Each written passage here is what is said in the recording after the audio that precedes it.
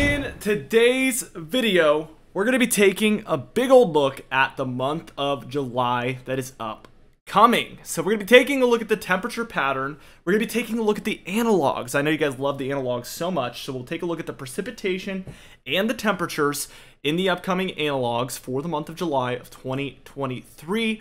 I did want to mention to you guys my new business Prestige Weather has been doing so well. So many of you have been joining, and it's just been great to be able to share extra weather knowledge with you guys. You can find that in the pin comment and description down below. We just did an early release of our actual July forecast. So that goes for the temperature, precipitation, and overall forecast. We released that early in there for our premium members. So if you want to gain access to that and everything we're talking about today uh, and get clear, concise information early on about what my forecast is for July, be sure to join in the description and pinned comment down below. We have that information for you guys down there where you can join today. It's only $5 a month, very affordable about the same price as a cup of coffee. Uh, definitely going to be worthwhile. We also deliver forecasts directly to you. We're calling you guys once a week for limited time at least. We're thinking about releasing it permanently, but we're going to be calling you guys once a week if you like, of course uh, to give you guys a forecast for anywhere that you might be located. So if you are located in the middle of nowhere, we will still give you a call. We'll still get the weather information for you and give you a look at the week ahead one on one directly to you. So it's really, really cool. Be sure to check it out again in the description and pin comment down below. Taking a look at the past uh, 30 days or so, and I would do 25 to get us a more accurate representation of what the summer has been like so far, but I, there's only 30 or 20, so we went with 30 here. It has been far below normal here along the eastern seaboard. This is where we've been talking about the historic cold uh, for these areas. Record cold summer potentially on the way and ongoing. We have warmth here in the upper Midwest, so things have been uptrending as far as temperatures down here. And also for the south central United States where they've had historic heat. This is what we were talking about yesterday with the historic warmth for different areas in the nation. Really, really crazy stuff. And then we also have this cooler area here for the west, especially the southwest here. We have plenty of cold temperatures around for these pockets. So definitely, definitely some different interesting things happening around the nation. Again, if you want to see that July forecast, that is available early on in the Prestige Weather. We will be releasing that on July 1st here on the channel, though, of course, where you can check it out then. Here is kind of the upcoming storms. We're going to break away from the, the temperature talk real quickly. We do have an enhanced risk of severe weather for portions of the mid-Atlantic and the East Coast in general, so be on the lookout for damaging wind, hail, and maybe even some spotty tornadoes definitely going to be something to watch for. Really, really crucial stuff there. Is this is one of the highest risks that the East Coast has seen this year so far. We see this storminess clears up by midweek next week, and we see things, or this week, I guess, we're seeing things get a lot quieter here in the East, and we actually have a big time ridge here in the central United States, which is going to worsen the heat for these areas. Uh, we also have plenty of storms up here for the Northwest as well ongoing. Definitely uh, some interesting things happening.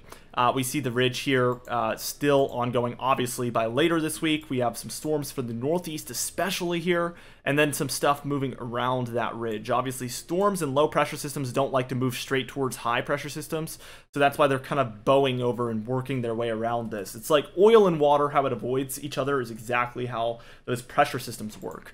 As we keep going here, we can see by the time we're reaching Friday the 30th, uh, it's a little bit quieter here as well. July 1st, speaking of July 1st, today our, our uh, July forecast will be released, officially released at least. We can see that there is scattered thunderstorms throughout a lot of the eastern half of the nation, certainly uh, worth noting.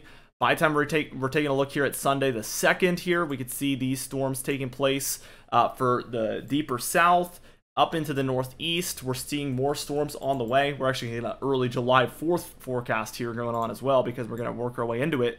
By the 3rd of July, which some areas have some fireworks going on that night, we do still have this pocket of scattered thunderstorms going on from the kind of Midwest up through the Ohio Valley and into the Northeast as well. As we keep going towards the actual 4th of July, we can see that uh, I want to actually move us towards like when fireworks should be going off. So this is about 8 p.m a little bit before fireworks, and this is really looking messy. We have a majority of areas in this circle for the central and eastern United States dealing with scattered about thunderstorms. Really, really disruptive weather for a 4th of July forecast. If you would like a custom 4th of July forecast, uh, be sure to join the Tril- or the Prestige Weather. Again, we do give access uh, to weekly calls, and we can give you guys insight into what the weather might be like that evening, uh, if that is what you choose to do. So it's worth checking out there at Prestige Weather. Uh, and then before the 5th into the 6th, it's the same story, although not as many implications, obviously, but we have a lot of thunderstorm activity going on for that date as well. Now, the total precipitation here, we can see really, really high amounts here across the northeast and southeast there, uh, especially the northeast here, where we have far above average precipitation ongoing. As we take a look at the temperature pattern, this is going to be your long range temperature pattern. We're going to work our way through July. We can see that for the first week of July, we do expect cooler temperatures to continue to prevail here in the eastern United States. More warmth and heat actually building into these south central pockets. I was talking to a good friend of mine today, and business partner actually, uh, about this and how I expect the heat to actually worsen over time and not subside, unfortunately. Uh, as we work into that second week, we can see this is becoming widespread throughout a lot of these areas. And as we continue on, we can see that for the 14th through the 24th, or 21st here, we do have more neutral temperatures still prevailing here across the eastern seaboard. Now, some more dramatic warmth building in there to the central states. So, Texas, Oklahoma, Kansas, Nebraska, Iowa, Missouri. So, we may actually see this heat wave uh, a little bit uh, spread and become much larger and much worse uh, in, some regard. And then, our final week of July here, we can see that there is some neutral temperatures along the eastern seaboard. Uh, we see uh, far above average temperatures here in the central United States, certainly uh, really, really far above normal temperatures. Now, this is the segment of the video where we're going to move into the analogs, the very exciting stuff. This is what my analogs say for July. We obviously know that this is not going to pan out for this area, likely. Uh, this area is obviously more likely to be the opposite, actually. Um, so these years did not feature those central United States heat waves like we're seeing this year. So we're going to disregard this. Uh, and that does bring into question the, the validity of these analogs, by the way, as well. So that is something I'm going to be thinking about over the coming weeks. Rest assured. Um, we can see that the cooler air is there for the east, though, on these analogs, and that is for sure uh, been a lot more accurate with what's been the case. So again, X over here, check mark over there, that is our temperature analogs.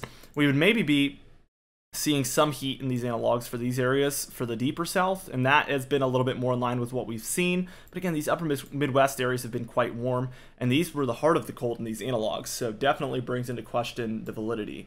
Uh, we also see warmer temperatures for Washington, Oregon, and Northern California there uh, in these analogs for the upcoming month of July, which will be something I'll be thinking about as well.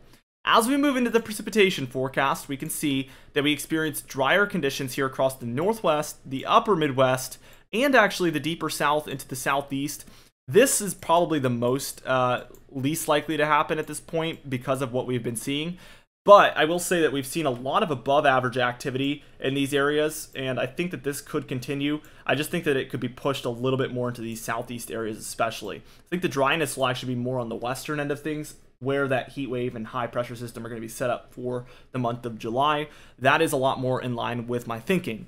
But again, if you join Prestige Weather, which will be in the description and pinned comment down below, we can you, you have early access to the July forecast and you can see on map what exactly we're calling for this year and get early access to that. Really cool opportunity to share that with you guys early. So be sure to check it out. Be sure to also subscribe for daily uploads just like this one as we're going to be breaking down the fall and winter as our second official fall forecast will be coming out in just over a week and our first preliminary winter forecast will be coming out in just over a week as well a little bit of a early announcement there. So that is something to be excited about. We're going to be releasing those very, very soon. And we're going to be releasing more of these analog type videos as well if you enjoy them. So be sure to like and comment down below if you want to see more content just like this. Uh, anyway, guys, be sure to like the video, leave a comment down below like I mentioned, and I'll see you guys in the next video.